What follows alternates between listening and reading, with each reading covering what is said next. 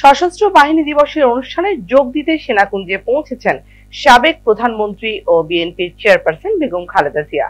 এর মধ্য দিয়ে দীর্ঘ অর্ধযুগ পর সশরীরে জনসমুখে কোনো কর্মসূচিতে যোগ দিলেন সাবেক এই প্রধানমন্ত্রী। সবশেষ দু হাজার আঠারো সালে পাঁচই ফেব্রুয়ারি সিলেট সফর করেছিলেন তিনি। বৃহস্পতিবার বিকেল সাড়ে তিনটার দিকে গুলশানের বাসভবন ফিরোজা থেকে তার গাড়ি বহর রওনা করে। বিকেলে গণমাধ্যমকে এ তথ্য জানান বিএনপির মিডিয়া সেলের সদস্য সাইরুল কবির খান।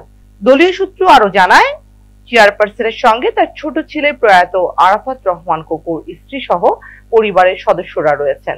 মঙ্গলবার রাতে সেনাবাহিনীর chief of general staff lieutenant colonel Mizanur Rahman Shamim এবং সশস্ত্র বাহিনী বিভাগের principal staff officer lieutenant general A S M Kamrul Ahsan এই আমন্ত্রণ পত্র বিএনপি চেয়ারপারসনের কাছে পৌঁছে দেন।